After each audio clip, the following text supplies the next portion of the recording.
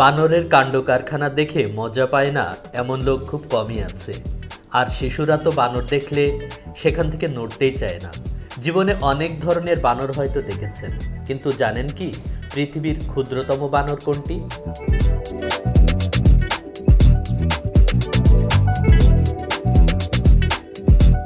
Pygmy marmoset. Pygmy marmoset বানর পৃথিবীর ক্ষুদ্রতম বানর হিসেবে পৃথিবী বিখ্যাত। তবে ক্ষুদ্র হলে কি হবে? স্বভাব চরিত্র অন্য জাতের বানর থেকে মোটেও আলাদা না, বরং কিছুটা বেশি দুষ্টু। এই দুষ্টু বানর পিগমি মার্মোসেটের বৈজ্ঞানিক নাম কিবুলিয়া পিগমিয়া। পকেটে ঢুকিয়ে রাখা সম্ভব বলে আদর করে কেউ কেউ ডাকে পকেট বানর। আবার ঘাড় ভর্তি কেশরের কারণে কেউ কেউ খুদে সিংহ বলেও ডাকে। তারা এতটাই ক্ষুদ্র যে পাঁচটি মার্মোসেটকে আপনি অনায়াসে আপনার পাঁচটি আঙুলে ঝুলিয়ে রাখতে পারবেন।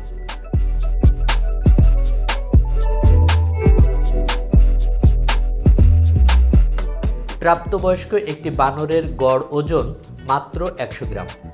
মাথা এবং শরীর সহ এদের আয়তন মাত্র চার দশমিক ছয় থেকে ছয় ইঞ্চি পর্যন্ত হয়। মজার বিষয় হচ্ছে, এদের লেজ এদের শরীর থেকেও বড়। যা ছয় দশমিক আট থেকে নয় ইঞ্চি পর্যন্ত লম্বা হয়ে থাকে।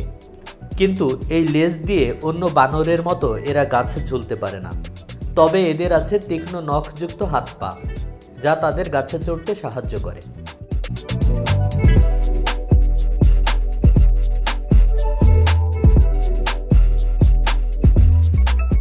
পিগমি বানরের গায়ের রঙেও দেখা যায় বিচিত্রতা। তবে সাধারণত বাদামি, হলুদ, ধূসর, কালো, রূপালি, কমলা ইত্যাদি রং মিশ্রিত মার্মোসেট বেশি দেখা যায়। অন্যান্য বানর প্রজাতির মতোই মার্মোসেটের শরীর নরম ও রেশমি লোমে ঢাকা। আর বেশিরভাগের মাথার দুপাশে বড় ঘন গোছার পশম থাকে। দক্ষিণ আমেরিকার ঘন বনাঞ্চলে এবং অ্যামাজন জঙ্গলে নদীর অববাহিকায় বেড়ে ওঠা বড় গাছের উঁচু ডালগুলোতেই এদের বেশি দেখা যায়। ব্রাজিল সহ কলম্বিয়া, ইকুয়েডর এবং পেরুর কিছু অংশেও এদের পাওয়া যায়।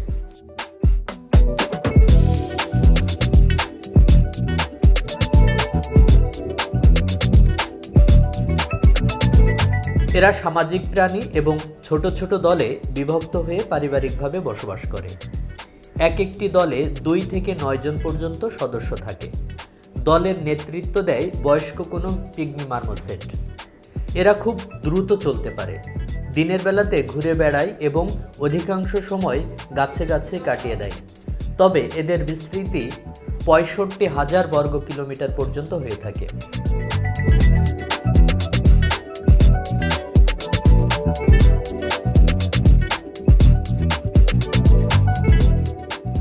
পিগমি মার্মোসেট সর্বভূক প্রাণী, অর্থাৎ এরা সব ধরনেরই খাবার খায়। তবে এদের প্রধান খাদ্য গাছের আঠা। দাঁত দিয়ে গাছের ছাল খুঁটে তার থেকে আঠালো রস বের করে দিয়ে জিহ্বা দিয়ে চেটে চেটে খেতে খুব পছন্দ করে। আর পোকামাকড় থেকে শুরু করে অন্যান্য ছোট প্রাণী, ফলমূল, গাছের পাতা ইত্যাদি কোনো কিছুই খাবার তালিকা থেকে বাদ যায় না। এদের কিছু মজার বিষয় হচ্ছে, এদের মধ্যেই বিশটির মতো প্রজাতি আছে, যার মধ্যে বেশিরভাগই আপনি আপনার হাতের তালুতে রাখতে পারবেন। শারীরিক বৈশিষ্ট্যগুলোর জন্য এদেরকে সবচেয়ে আদিম বানর বলে বিবেচনা করা হয়। এরা এদের মাথা দুদিকে একশো আশি ডিগ্রি পর্যন্ত ঘোরাতে পারে। এত ছোট হওয়া সত্ত্বেও এরা পনেরো মিটার পর্যন্ত লাফ দিতে পারে। জোর ভেঙে কেউ কখনো চলে যায় না এবং এরা আজীবন একত্রে বসবাস করে।